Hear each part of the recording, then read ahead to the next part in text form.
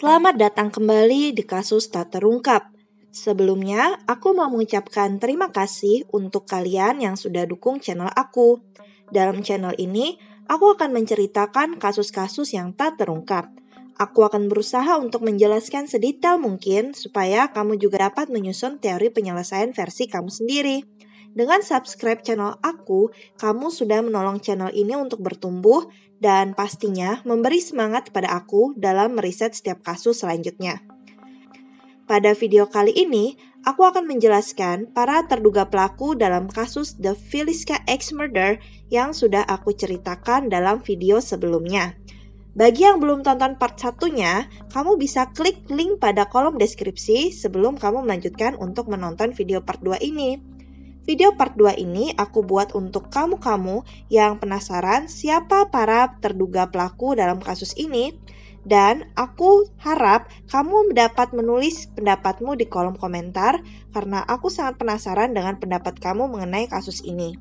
Langsung saja kita bahas siapa saja terduga pelaku dalam kasus The Filiska X Murder. Investigasi yang panjang menghasilkan beberapa terduga pelaku, salah satunya sempat diadili dua kali. Sidang pertama berakhir dengan hasil menggantung dan sidang kedua berakhir dengan pembebasan. Tersangka lain dalam penyelidikan pun dibebaskan karena kurangnya bukti. Kasus ini tetap menjadi kasus tak terungkap.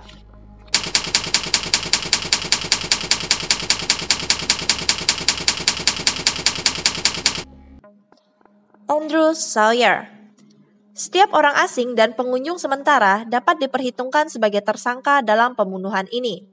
Salah satunya adalah seorang pria bernama Andrew Sawyer.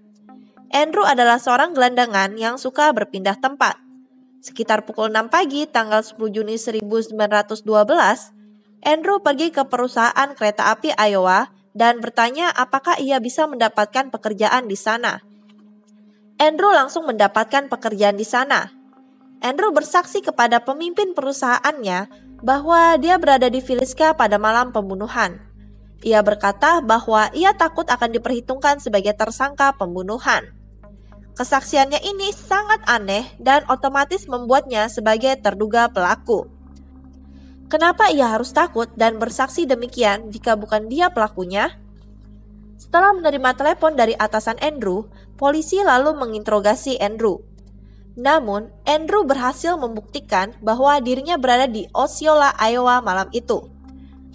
Hal ini cukup janggal mengingat Andrew sebelumnya mengaku bahwa ia berada di Filiska kepada atasannya.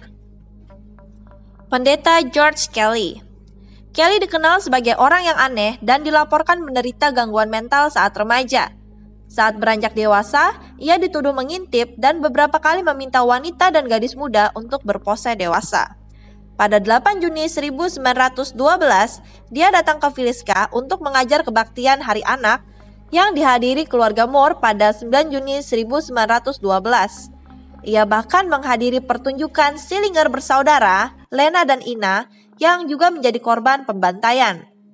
Dia meninggalkan kota antara pukul 5 hingga 5.30 pagi pada 10 Juni 1912, beberapa jam sebelum mayat keluarga Moore dan Stillinger bersaudara ditemukan. Pendeta Kelly telah mengaku telah membunuh mereka di pengadilan, tetapi hakim pengadilan tidak mempercayai pengakuannya. Dalam minggu-minggu berikutnya, dia menunjukkan ketertarikan dengan kasus tersebut dan menulis banyak surat kepada polisi, penyelidik, dan keluarga almarhum. Hal ini menimbulkan kecurigaan dan seorang penyelidik swasta membalas surat pendeta Kelly. Penyelidik itu menanyakan rincian yang mungkin diketahuinya tentang pembunuhan tersebut.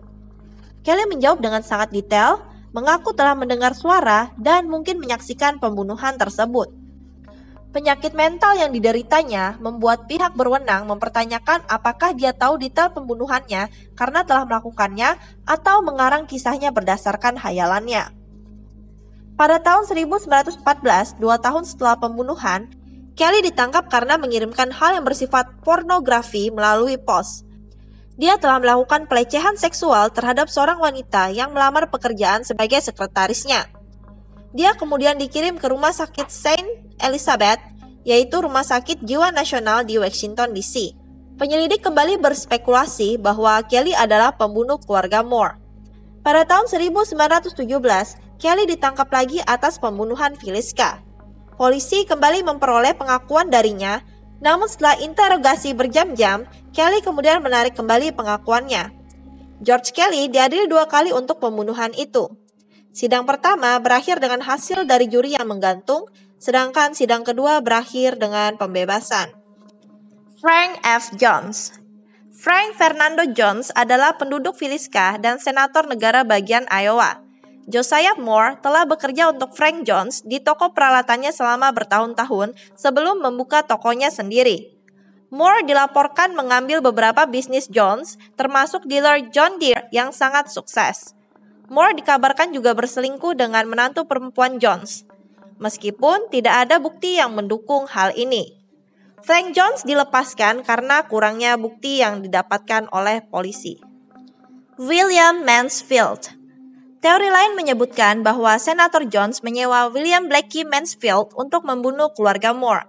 Dipercaya bahwa Mansfield adalah seorang pembunuh berantai karena dia membunuh istri, bayi, dan mertuanya dengan kapak dua tahun setelah pembunuhan di Filiska. Dia juga diyakini telah melakukan pembunuhan kapak di Paula, Kansas empat hari sebelum kejahatan Filiska. Selain itu, Mansfield juga diduga terlibat dalam pembunuhan ganda Jenny Peterson dan Jenny Miller di Illinois. Mansfield dibebaskan setelah juri agung khusus dari Montgomery County menolak untuk mendakwa dia dengan alasan alibinya telah diperiksa. Menurut penyelidikan seorang detektif bernama Will Carson, semua pembunuhan yang dilakukan dengan cara yang sama menunjukkan bahwa pelakunya mungkin orang yang sama. Wilkerson mengatakan bahwa dia dapat membuktikan Mansfield hadir di setiap TKP yang berbeda pada malam pembunuhan tersebut. Dalam setiap pembunuhan, para korban dibacok sampai mati dengan kapak dan cermin di rumah ditutup. Sebuah lampu minyak menyala ditinggalkan di kaki tempat tidur dan sebuah baskom tempat si pembunuh membersihkan diri ditemukan di dapur. Dalam setiap kasus, pembunuh mengenakan sarung tangan sehingga tidak meninggalkan sidik jari. Mansfield mungkin saja menyusun rencana seperti ini karena ia tahu bahwa sidik jarinya ada di file di penjara militer federal di Leavenworth. Wilkerson berhasil meyakinkan pengadilan untuk membuka penyelidikan pada tahun 1916. Mansfield kemudian ditangkap dan dibawa dari Kansas City ke Montgomery County.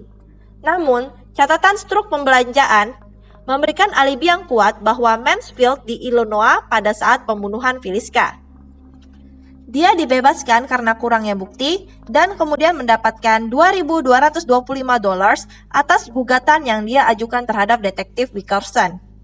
Namun, R.H. Thorpe, pemilik restoran dari Shenandoah, Iowa, bersaksi bahwa ia melihat seorang pria yang diyakininya sebagai Mansfield menaiki kereta di Clarinda di pagi hari setelah pembunuhan di Filiska. Pria ini berkata kepadanya bahwa dia telah berjalan dari Filiska. Jika terbukti benar, kesaksian ini membantah alibi Mansfield. Henry Lee Moore Sebelum dan sesudah pembunuhan di Filiska, Henry Lee Moore, bukan anggota keluarga Josiah Moore, dihukum atas pembunuhan ibu dan neneknya. Senjata pembunuhan yang digunakan adalah sebuah kapak. Semua kasus menunjukkan kesamaan yang mencolok, yang mengarah pada kecurigaan yang kuat bahwa beberapa atau semua kejahatan dilakukan oleh serial pembunuhan kapak. Seperti Blackie Mansfield, Henry Moore yang membunuh keluarganya dengan kapak juga dapat dianggap sebagai tersangka dalam beberapa pembunuhan ini. Sam Moyer Dalam penyelidikan diketahui bahwa Sam Moyer, saudara ipar Josiah, sering mengancam akan membunuh Josiah Moore. Namun setelah penyelidikan lebih lanjut, alibi Moyer membebaskannya dari kejahatan tersebut. Paul Mueller Dalam bukunya The Man from the Train tahun 2017, Bill James dan putrinya, Rachel McCarthy James, membahas pembunuhan Filiska sebagai bagian dari rangkaian pembunuhan yang jauh lebih besar yang mereka yakini semua dilakukan oleh satu pembunuh berantai. Mereka menyimpulkan bahwa pembunuhnya adalah Paul Müller, seorang imigran yang mungkin dari Jerman yang menjadi buronan selama setahun.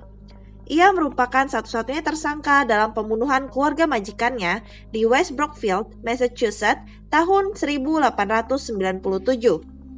James memulai penelitiannya dengan menemukan arsip berita surat kabar yang merinci seluruh keluarga yang dibunuh dalam keadaan serupa di seluruh Amerika Serikat. Keluarga James percaya bahwa Mueller bersalah atas pembunuhan Filiska dan pembunuhan besar-besaran yang menewaskan sedikitnya 59 orang dalam 14 insiden terpisah selama lebih dari satu dekade.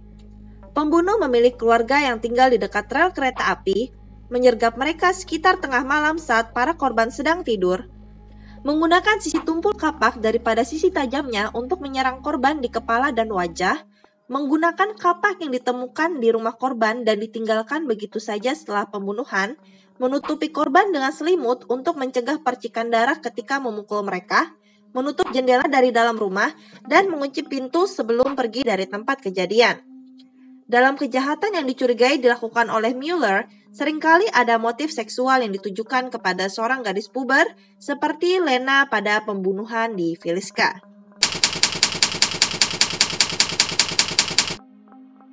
Sembilan bulan sebelum pembunuhan di Filiska, kasus pembunuhan kapak serupa terjadi di Colorado Springs. Dua kasus pembunuhan kapak menyusul di Ellsworth dan Paula, Kansas. Kasus-kasus tersebut cukup mirip untuk meningkatkan kemungkinan dilakukan oleh orang yang sama. Pembunuhan lain yang dilaporkan mungkin terkait dengan kejahatan ini adalah pembunuhan kapak yang belum terpecahkan di sepanjang jalur kereta api Pasifik Selatan dari tahun 1911 sampai 1912, pembunuhan X-Men yang tidak terpecahkan di New Orleans, serta beberapa pembunuhan lainnya selama periode ini. Pembunuhan di Colorado Springs adalah pembunuhan yang paling mirip dengan pembunuhan di rumah Moore. Sembilan bulan sebelum pembunuhan Filiska, H. C. Waynes, istri dan anaknya, dan Nyonya A.J. Burnham ditemukan tewas di Colorado Springs dan dibunuh dengan sebuah kapak. Seperti dalam pembunuhan Filiska, spray digunakan untuk menutupi jendela agar orang yang lewat tidak melihat ke dalam. Pembunuhan di Colorado Springs juga menyeka darah dari kapaknya dan menutupi kepala korban dengan pakaian tidur, sama seperti pembunuhan di Filiska. Hal yang dapat kita pelajari dari kasus ini adalah kita sepatutnya selalu waspada di mana pun dan kapan pun kita berada. Karena kejahatan terjadi terkadang bukan karena ada niat pelakunya, tetapi juga karena ada kesempatan. Mungkin saja sang pelaku memilih rumah keluarga Moore karena ia melihat kesempatan untuk masuk ke rumah itu tanpa diketahui oleh pemiliknya. Jadi aku harap setelah menonton video ini, kamu tidak akan pernah lupa untuk mengunci pintu rumah kamu sebelum kamu pergi tidur. Sekian cerita tentang The Filiska X Murder House. Jangan lupa like, komen, dan subscribe channel aku supaya kamu tidak ketinggalan update dari kasus lainnya. Sampai jumpa di video selanjutnya. Salam penyidik.